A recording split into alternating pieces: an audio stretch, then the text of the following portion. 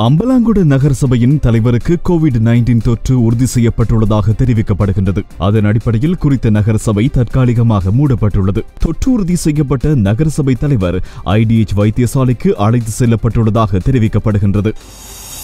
இரண்டாயிரத்து இருபதாம் ஆண்டு கல்வி பொது தராதர உயர்தர பரீட்சை பெறுபவர்கள் எதிர்வரும் ஏழு நாட்களுக்குள் வெளியிடப்படும் என கல்வி அமைச்சர் ஜி எல் பீரிஸ் தெரிவித்துள்ளார்.